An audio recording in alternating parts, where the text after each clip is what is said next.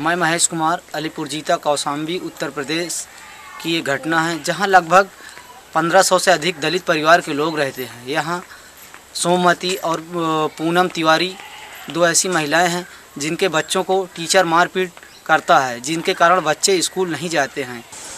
बच्चे बराबर स्कूल जाते, आज नहीं गए स्कूल। हमसे पत्ता हम खा गए इसीलिए लड़का नहीं गया। जब हमेशा वह करे ऐसे डरा थे कि वह है तो हमसे पत्ता भाग पाएँगे इसे लोग नहीं काम ये तो मगर लौट यहाँ देखते। स्कूल से गंदगी पन का हम ही सब करे अरे बहुत गरीब लोग हैं तो कहाँ वहाँ यही करें गुरु जी हमको गुटखा मंगाई सर।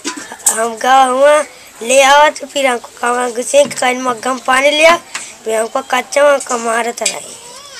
बच्चे से गुटखा नहीं मंगाना चाहिए। बुरा असर पड़ेगा। तो उसके बारे उसके खिलाफ आपने मास्टर से कहा नहीं है? कहें तो? मानते नहीं, जब कहते हैं कि कोई रोड पे ना भेजो तो कहीं कोई साहिब आ जाए तो स्कूल काहे ना भेजो? तो कहा कि कोई बच्चे बाहर न जाए तो मानते नहीं हैं।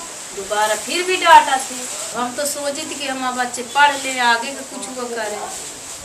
कोई न पढ़ाई हो न लिखाई हो तो में का हो सकता है जैसे हम बच्चों के मारपीट की बात कर रहे हैं तो यदि जैसे टीचर आपके बच्चों को मारपीट बंद कर दे बच्चों के साथ आपकी मारपीट ना हो तो बच्चे बराबर पढ़ ले जाएँगे? बराबर इन बच्चों के साथ टीचर कोई अभद्रता का व्यवहार ना करे और इनके साथ मारपीट ना करे ताकि ये बच्चे अपनी पढ़ाई सुनिश्चित रूप से पूरी कर सकें जिससे इनको इनको शिक्षा मिल सके और ये अपनी पढ़ाई में बराबर डेली स्कूल आ जा सकें।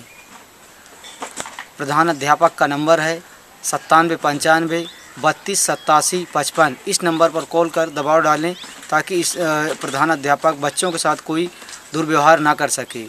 मैं महेश कुमार अलीपुर जीता कौसाम्बी उत्तर प्रदेश से इंडिया अनहर्ड के लिए।